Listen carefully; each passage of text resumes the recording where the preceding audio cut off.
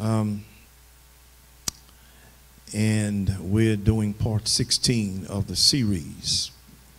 Galatians chapter number 3, verse 13 and 14, and then we'll read verse 29. It says, Christ has redeemed us from the curse of the law, having become a curse for us. For it is written, Cursed is everyone who hangs on a tree, that the blessing of Abraham might come upon the Gentiles in Christ Jesus, that we might receive the promise of the Spirit through faith. And verse 29 says, And if you are Christ's, or if you belong to Christ, then you are Abraham's seed and heirs according to the promise. If you belong to Christ, then you are Abraham's seed and heirs according to the promise. Romans chapter number 8. Romans chapter number 8, uh, verses 16 and 17. The Spirit Himself bears witness with our spirit that we are children of God. And if children, then heirs, heirs of God, and joint heirs with Christ, if indeed we suffer with Him, that we may also be glorified together. Amen. Now, on last week, we looked at what Paul said in Ephesians chapter number 5. We dealt with the third through the fifth verses of this. We've been talking about don't be disqualified from receiving your inheritance. And we have shared that Peter said to us over in First Peter that the inheritance that God has for us is undefiled, it's incorruptible, it's being laid aside for us, it's being kept in heaven, it does not waste away. What God has for us is for us. And no one can take from you what God has for you. But you can disqualify yourself from receiving what God has. And so and we looked at, well, we, we've been reading 1 Corinthians 6, 9, and 10. Uh, we looked at Ephesians 5, 1 through 5. And uh, in this, this third through the fifth verse, we talked about the behaviors or sinful practices that would cause one to be disqualified from receiving their inheritance in the kingdom of God and of Christ. And Paul dealt with uncleanness and covetousness and filthiness and foolish talk and coarse jesting. So I'm not going to get into all of that today. We talked about that last week. You can go back and, and watch that if you didn't see it or you wasn't here last week. But uh, I was about to move on from this and deal with another area of this. And remember, this is topical preaching, what we're dealing with now. We're dealing with a topic of inheritance and not uh, being not being disqualified from receiving your inheritance. But I want you to go to Galatians 5 now, because in this fifth chapter of Galatians, we we read some things in that. You know, we we we looked at verses uh, 19 through 21, and that basically talked about the behaviors that one, you know, practices those, you won't have any inheritance in the kingdom. But I'm going to start at verse 16. I'm going to start at verse 16. Galatians 5 16. I say then, walk in the Spirit, and you shall not fulfill the lust of the flesh. For the flesh lusts against the Spirit, and the Spirit against the flesh and these are contrary to one another, so that you do not do the things you wish. But if you are led by the Spirit, you're not under the law. Now, the works of the flesh are evident, which are adultery, fornication, uncleanness, lewdness, idolatry, sorcery, hatred, contentions jealousies, outbursts of wrath, selfish ambitions, dissensions, heresies, envy, murders, drunkenness, revelries, and the like of which I tell you beforehand. Those who practice such things will not inherit the kingdom of God. Wow. Uh, the flesh lusts against the spirit, and the spirit against the flesh. The Lord led me back to that piece right there because what we want to deal with is winning the battle within us. You know, Brother Bozy, our greatest enemy is not Satan. It's not Satan. It's not other people. It's a lot of time we have a tendency to think that the white man is the greatest enemy. Not really. Not really. Not really. Mm-mm. We shouldn't think like that.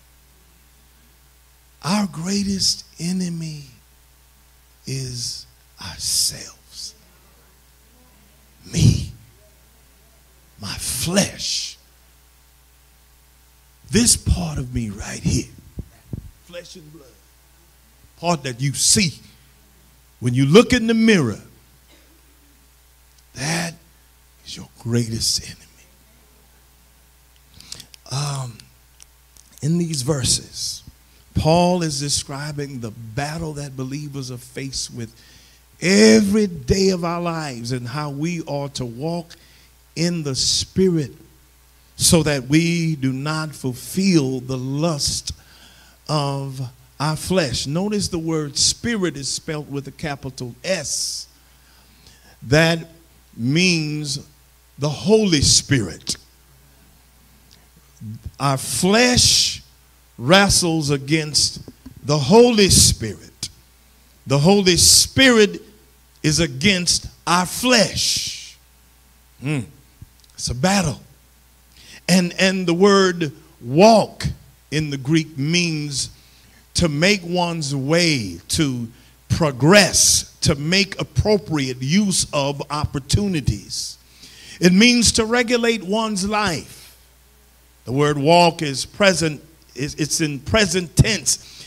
And this means that the life of the believer is a life of continuous progress. We ought to always be moving from where we are to where God wants us to be. Paul was suggesting that walking by the Spirit, the Holy Spirit, should be a habit it is to be a lifestyle. It is a constant movement toward a complete likeness of Jesus Christ. So, in other words, if I got saved in 1995 and prior to my salvation, I would cuss like a sailor. I'd cuss you out at the drop of a hat. You rub me the wrong way, you gonna get cussed out. Not cursed, but cussed. And I enjoyed doing it because it made me feel better. That's 1995, so that's 29 years ago. No, I was never like that. Never like that. But I'm just using that as an example. I rather use me than one of y'all, because see, y'all might be thinking he talking about me. No, I'm using me. So by now, all that cussing folk out stuff, it, it should be out of me by now. If I'm moving from where I am to where God wants me to be. And if I'm not moving from where I am to where God wants me to be, then I believe that's what you called arrested development. I'm not growing. I'm not maturing, but I'm stuck in a place where I reach this particular area of my life. My frontal lobe has not developed any further, and I have not matured at all. I'm still just as, as immature and carnal as I was when I first came to Christ. I got saved, but that's all, Brother Bosie. That's it. On my way to heaven. But that's it. There's no growth. There's no maturity in my life. And it's evident. Because soon as you rub me the wrong way, I'm going to let you have it and feel good after I did it. Do you understand what I'm saying? So we we we must remember that because our flesh is not saved, and it won't be saved until the rapture of the church. And because the flesh is not saved, it is still sinful. And if we don't walk in the spirit, it will. Our flesh will sin. The spirit of the believer is saved. When we got born again, our spirit man was quickened, it was made alive unto God, it was regenerated, and our spirit cannot sin. Our soul, which is the mind, the will, and the emotions, is progressively being saved as we are renewing our minds and being renewed in the spirit of our mind, which is at the subconscious level.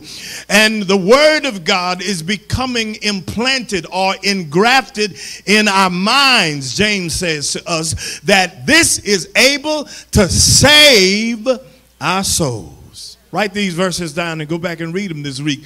Romans chapter 12, verse number 2. Ephesians 4:23 and James 1:21. So so when I'm born again, I'm instantly saved. Instantly. My spirit is saved. My soul is progressively being saved. This is why it's so important to be discipled, uh, to come to church, to attend Sunday school, to attend Bible studies so that we can grow and then take the initiative uh, in, within ourselves to pick up the Word of God and read it and study it daily so that we can grow. So we can grow. So that we can move from where we are to where God wants us to be. Pastor Cheryl said something that was profound when she was up here earlier. And uh, yeah, you do look fabulous. I thought I'd add that today. Amen. You, whew. I almost didn't know who you were when you came in my office. What this woman doing? Just walking up in my office. That's my wife, man. Uh, you said something that was profound that you are who you are at the core of your being. You are who you are. And when you when we talk about at the core of your being, the core of who you are is your spirit man and your soul, your inner man. You are who you are.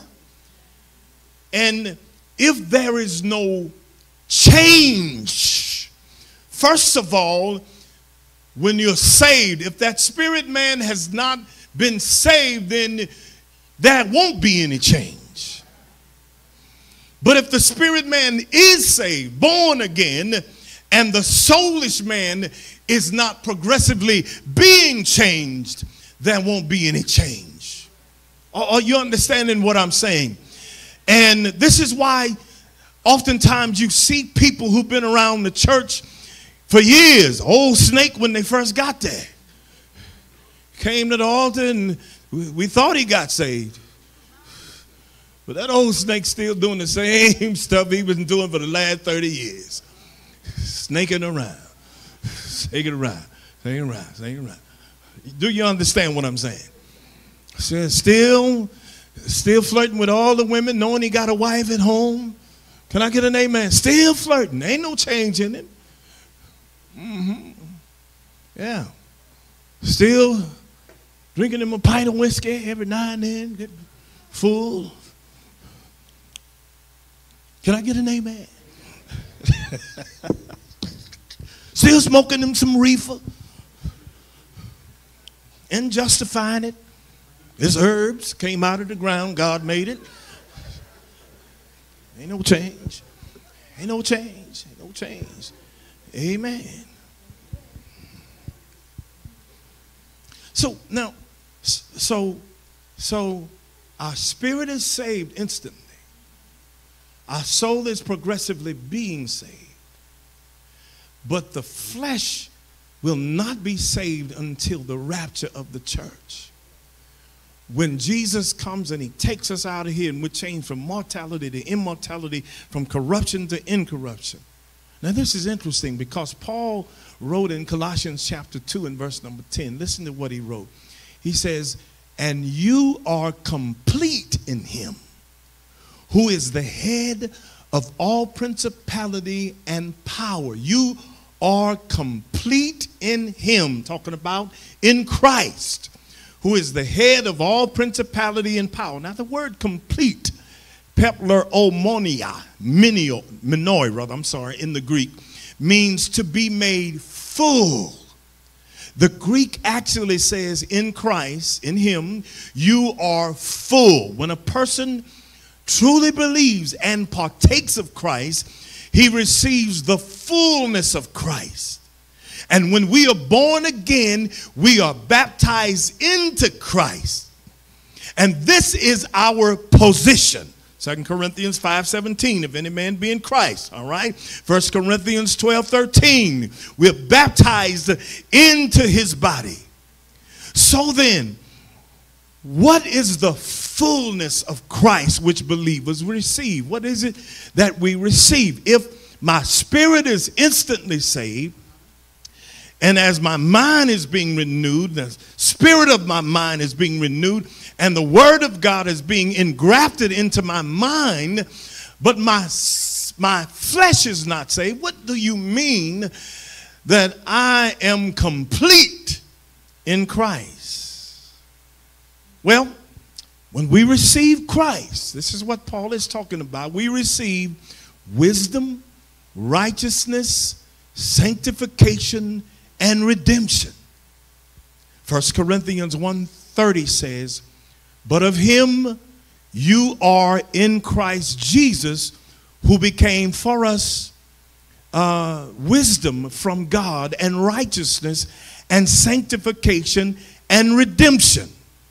Let me read it again. 1 Corinthians 1:30.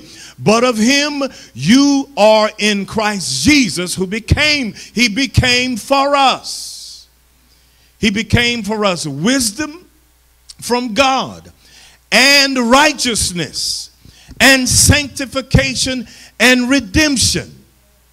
Now this is true in respect number 1 to wisdom which is needful to guide us uh-huh. 1 Corinthians 1:26. All right? It says, "But to those who are called both Jews and Greeks, Christ the power of God and the wisdom of God." Christ is our wisdom. He is our wisdom. So when Paul says that we're complete in God, one of the first things that we have is the wisdom of God who Jesus Christ is to us. He is our wisdom. So as I grow in Him, I don't have to keep making dumb and ignorant mistakes and decisions. If I keep making those dumb decisions, it's an indication that perhaps, Brother Bosie, I'm not growing. Can you say amen? So, number one, he is our wisdom. Number two, he is righteousness to us, which simply means that we understand the evil in this world, both sin and death, and that we know the only way to attain righteousness is in Christ. Second Corinthians 5 21. For he made him who knew no sin to be sin for us, that we might become the righteousness of God in Christ Jesus. So, positionally, I am righteous. Righteousness has been imputed to me. It has been imputed to you. When you were born again, God declared you as righteous. That is the position that you're in with God. You're righteous. Number three, he became sanctification. Our sanctification, which simply means that our lives are set apart from the world and sin and set apart unto God to live for him and serve him. We are a holy people. Second Thessalonians 2:13. But we are bound to give thanks to God always for you, brethren, beloved by the Lord, because God from the beginning, listen to this, chose you for salvation through sanctification by the Spirit and belief in the truth. You were chosen by God from the very beginning for salvation through sanctification. Can I get an amen today? Sanctification. I'm set apart. When I got saved, instantly set apart from the world, set apart from sin, set apart unto God. That's who I am. That's my position. That's how I stand with God, sanctified. That's how God sees me as sanctified.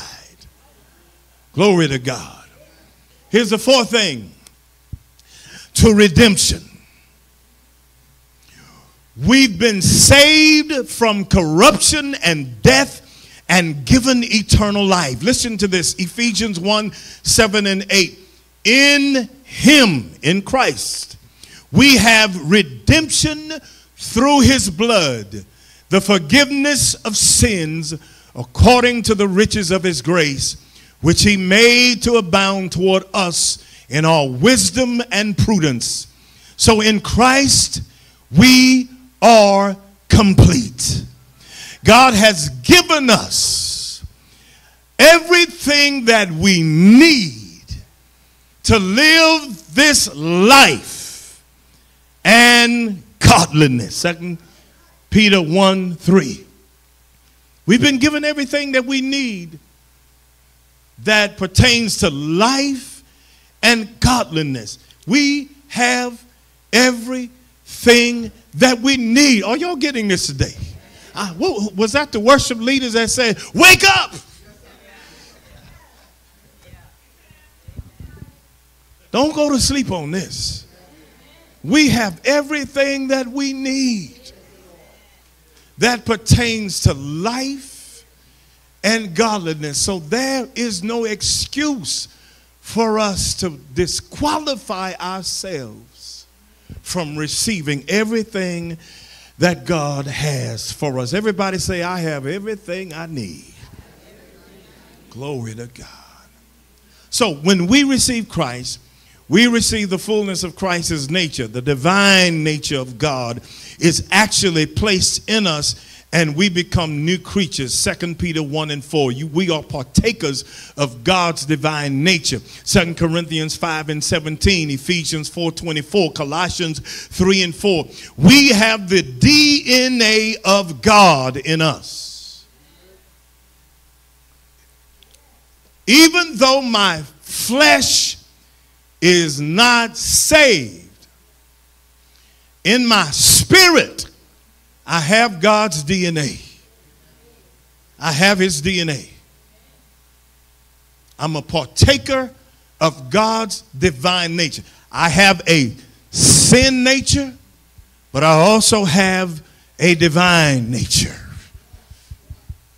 Did you hear me? Yes, all right. Now watch this. Let's keep going here. Because because when we receive Christ, we receive the fullness of life now. From the time we receive Christ, we should lack nothing. If we are ever in lack of anything, the fullness of life, it's because we have taken our eyes off of Christ when dealing with day to day living. When we receive, or when we receive Christ, we receive an abundance of life. John 10 and 10. The thief comes not but for to steal, to kill, and to destroy. I have come that they may have life and have it more abundantly. The Amplified Translation puts it like this The thief comes only in order to steal and kill and destroy. I came that they may have and enjoy life and have it in abundance to the full till it overflows. Woo! Glory to God. When we receive Christ, we receive the fullness of joy. John 15 and 11. These things I have spoken to you, that my joy may remain in you, and that your joy may be full. When, when the preacher says, This joy that I have, the world didn't give it to me, and the world can't take it away from me. Come on, somebody. The reason why we can say that is because we have the fullness of His joy. Glory to God. Not only that, but when we receive Christ, we receive all the necessities of life, including food, clothing, and shelter. Matthew 6 and 33. But seek ye first the kingdom of God and his righteousness, and all these things shall be added to you. When we receive Christ, we receive the fullness of God's Spirit of God Himself. Ephesians 3 19 says, To know the love of Christ, which passes knowledge, that you may be filled with all the fullness of God. Did you get that? We're filled with all the fullness, all of God we have been filled with because we are saved. So you can't get any more of God in you than you already have in you. So we have everything that we need because we have the fullness of God. But watch this. Watch this. Look at what Paul also wrote in Ephesians uh, chapter number 5 and verse number 18. He says, And do not be drunk with wine, in which is dissipation, but be filled with the Spirit, capital S. Don't be drunk with wine. Mm, we'll talk about that maybe later on. Should I be drinking wine in the first place? Now, don't get too quiet on me.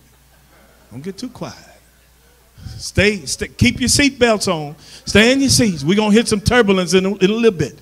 Uh huh, yeah. yeah. We're going to be, we're going to be just fine.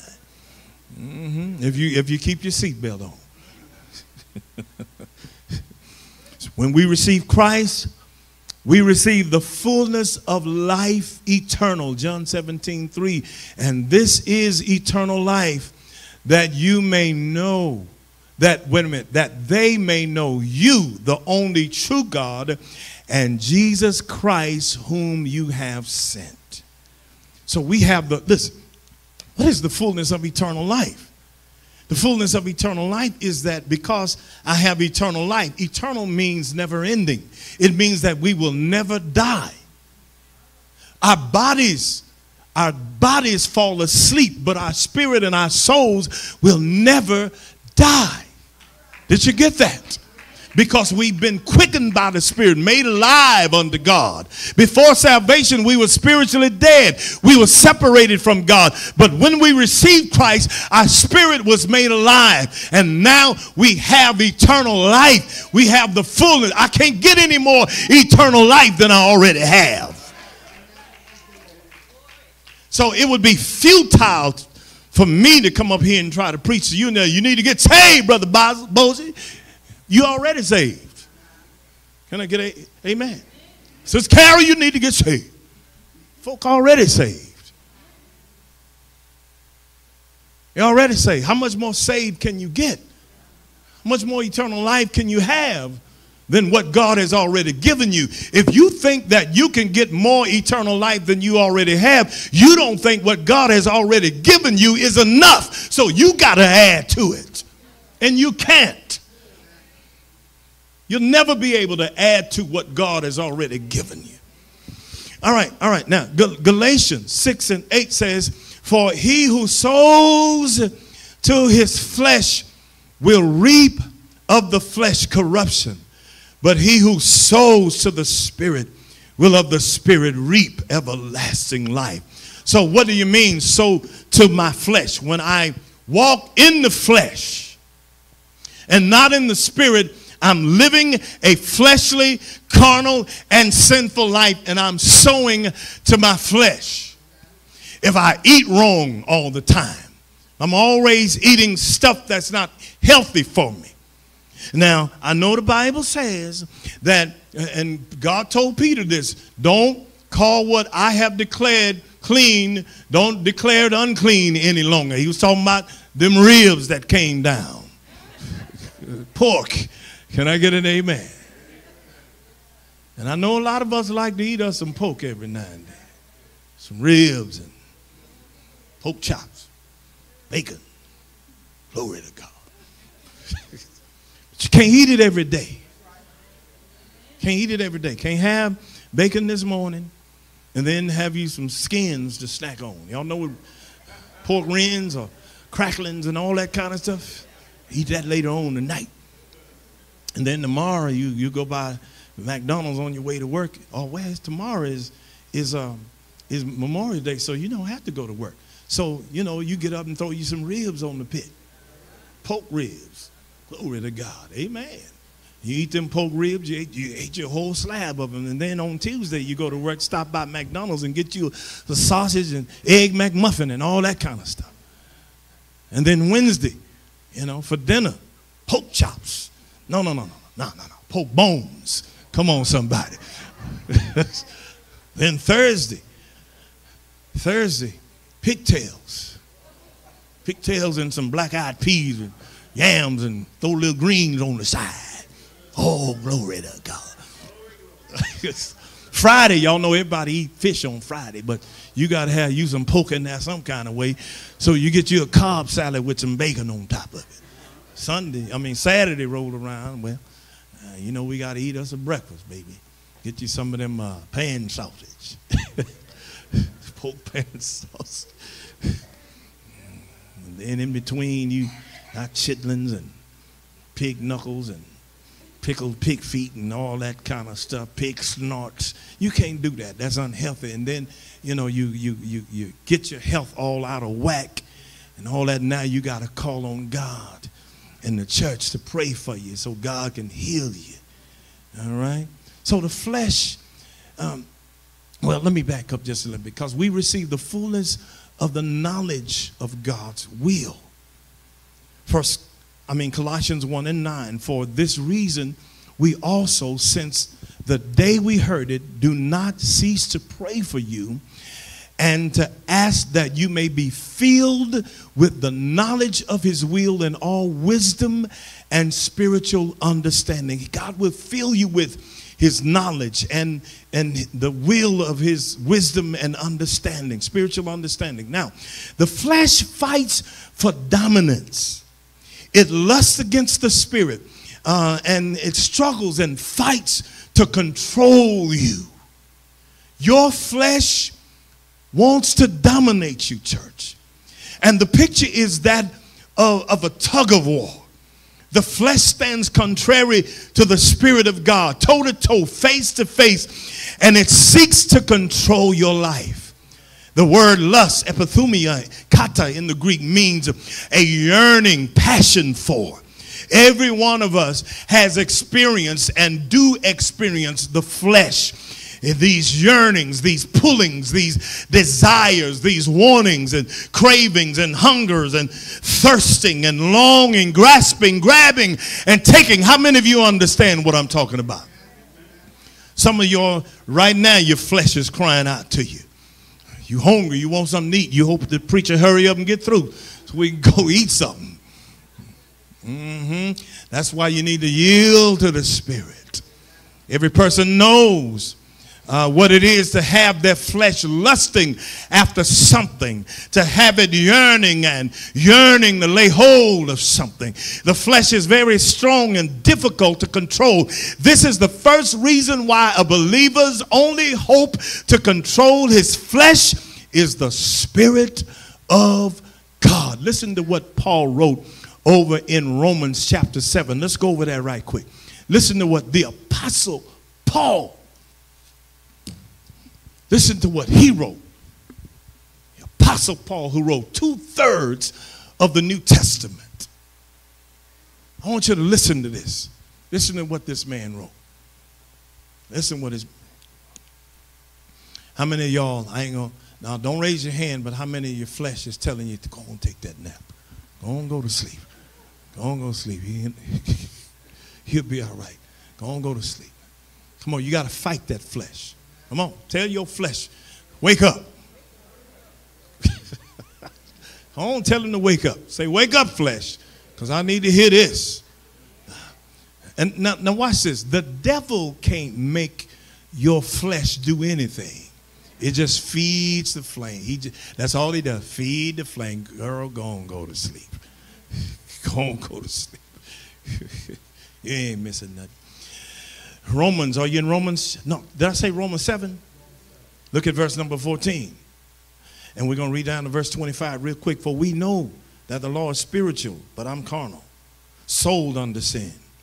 For what I'm doing, I do not understand. For what I will to do, that I do not practice. But what I hate, that I do. Anybody, can anybody identify with the apostle on that? Mm-hmm. Yes, for he, he goes on to say, uh, if then I do what I will not to do, I agree with the law that it is good.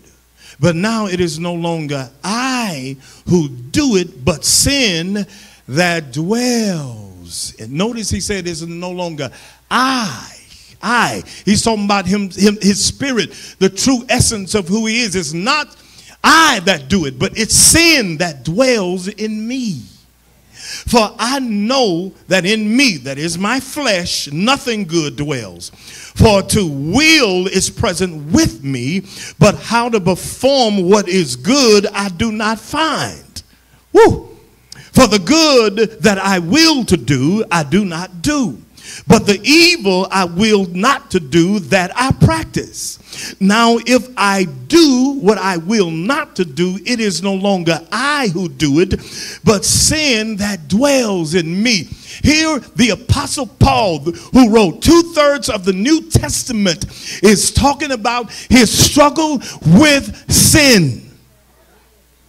I find then a law that evil is present with me, the one who wills to do good.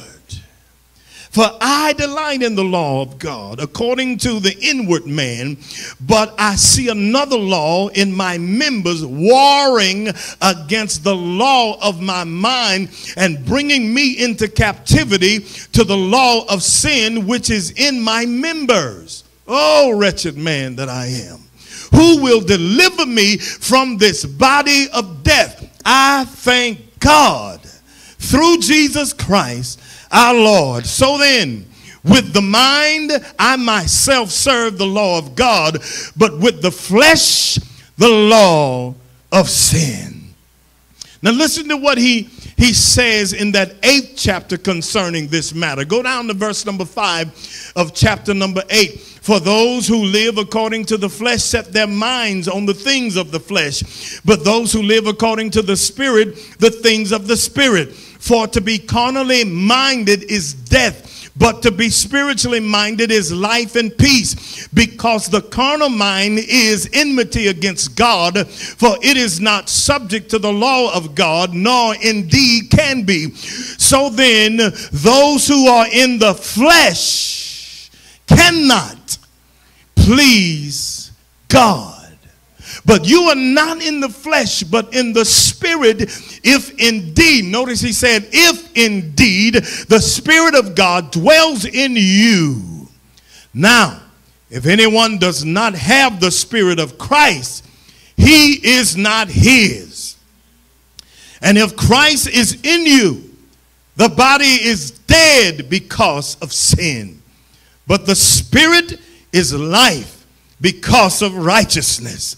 But if the spirit of him who raised Jesus from the dead dwells in you, he who raised Christ from the dead will also give life to your mortal bodies through his spirit who dwells in you. You have the spirit of God dwelling in you.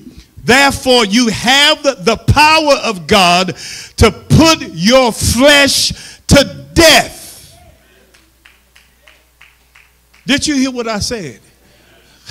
Go to James chapter number 4. James chapter number 4. I have the power of God in me to make my body do what I tell it to do. Can you say amen today? James 1, look at verses 1 through 5. Where do wars and fights come from among you? Do they not come from your desires for pleasure that war in your members? You lust and do not have. You murder and covet and cannot obtain. You fight and war, yet you do not have because you do not ask. You ask and do not receive because you ask amiss, that you may spend it on uh, your pleasures. Adulterers, adulteresses, do you not know that friendship with the world is enmity with God? Whoever therefore wants to be a friend of the world makes himself an enemy of God. When I live a fleshly, carnal life, I am living a life of carnality, and I am at enmity with God. I have, when, when I want to be friends with the world, I become an enemy of God. Let me close. I cannot be a friend of the world. The flesh is contrary to the spirit. The flesh has within itself based on an unregulated urges and passions and emotions. However, as genuine believers, we have another force within us the force of the Holy Ghost. And when we feel the constraint and the pressure between the flesh and the spirit, the Holy Ghost is giving us the power to overcome the flesh. The constraint is that power. And when we listen to the constraint and walk away from the object of the pressure, when we yield to the Spirit, we call upon God to help us. And this is how we walk in the Spirit. Paul goes on to tell us in this 17th verse of, of uh, the book of Galatians, chapter number 5, he says that the flesh keeps us from doing the things that we wish.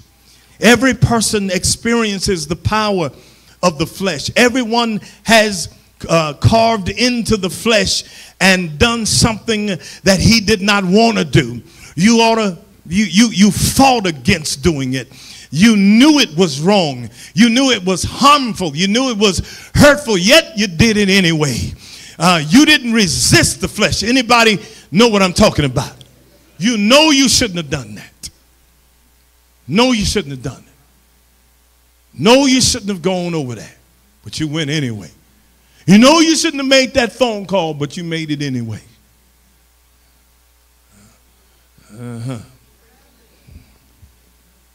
Mm. Mm. You look, look, let me tell you something. Let me tell you something. Particularly for those of us who are married people, you know, when when your your flesh is not saved. And when you're a married man, that don't mean you're not going to ever see other women who are beautiful. And and your your flesh, your sinful flesh, and your mind, if it's not renewed, will tell you, go and say something to her. Go and tell her how fine she is. Your mind will tell you that. But when you got the Holy Ghost in you, you feel that resistance and you don't do it. And watch this. If you had a flirtatious personality before you got saved, guess what? That flirtatious personality is still there. You got the you got the Holy Ghost in you. And you were flirtatious when you were out there in the world and you see a good looking brother, sisters, you know, boy, he, ooh, Lord, the kind of men's I used to like when I was out there in the world. hey, brother, how you doing? You just want to tell him. You just want to tell him. You know, I just, ooh, I wish I could. But you feel that resistance. And what do you do? You shut that down. Look, I'm, look, I'm not trying, I'm not trying to make you think that those urges, those passions, those cravings are not still there. Your flesh is not saved. Yeah, she looked good. But I'm already married. I got a wife. She look even better. Come on, somebody. Woo! And that's how you have to deal with things. You got the power to shut that stuff down. So shut it down. Man, I've been I've been with this woman for the last next month it'll be 45 years that we've been together. In August we'll be married 42 years. And I ain't never done that stuff. But that don't mean I never had desire. Are y'all hearing what I'm saying? But I got the Holy Ghost. And I'm married to a woman that's crazy.